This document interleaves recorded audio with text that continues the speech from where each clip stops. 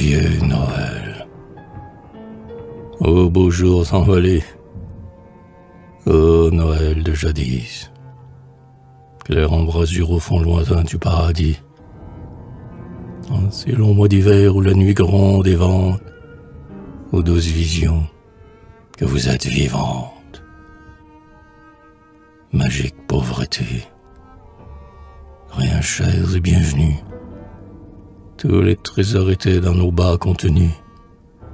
Des lots très émus, retenant notre haleine.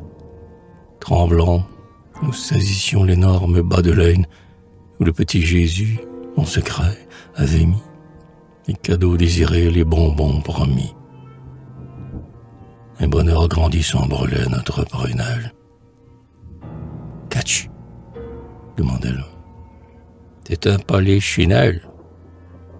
Et toi C'est un cheval de bois.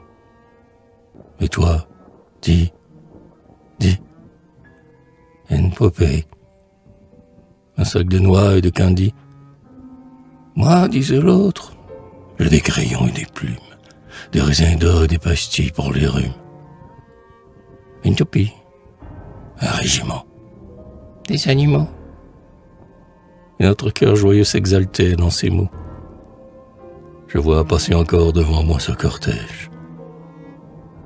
Ô belle âme d'enfant, neuve comme la neige, enchantement naïf, jouet mirobolant, que vous étiez petit et que vous étiez grand. Ma poupée au visage informe et teint de rose, que vous me paraissez maintenant peu de choses à côté de ces vers qui narguent mon désir et de cet infini je ne puis saisir.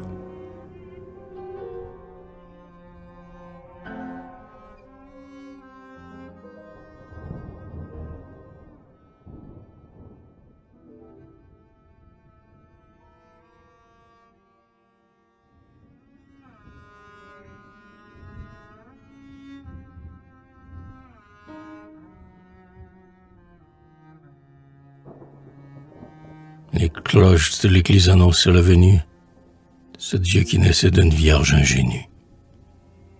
Minuit. C'était Noël. C'était le temple saint, scintillant de reflets, bruyant comme un essaim, que la joie envahit et que la vie inonde. Nous partions tous, à pied, dans cette nuit profonde. Nos cœurs étaient remplis d'un grand amour de Dieu. Les étoiles piquaient d'or le fond du ciel bleu, en jetant sur nos pas des lueurs fraternelles. Des étoiles qui nous semblaient toutes plus belles que celles qui, jadis, par les monts étrangers, vers la lande divine a guidé les bergers. Nous atteignions bientôt, pieuse caravane, la crèche d'où montait un parfum de savane.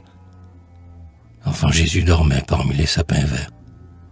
Et près de lui, la Vierge, avec ses bras ouverts, souriait à Joseph, qui, douce sentinelle, étendait sur l'enfant une main paternelle. La neige et le frimard recouvraient les parois de l'étable où dormait le puissant roi des rois. Debout, dans leur manteau d'or et de cachemire, les mages présentaient leur encens et leur myrrhe, cependant que le bœuf et l'âne, au souffle lourd, le réchauffaient de leurs babines de velours.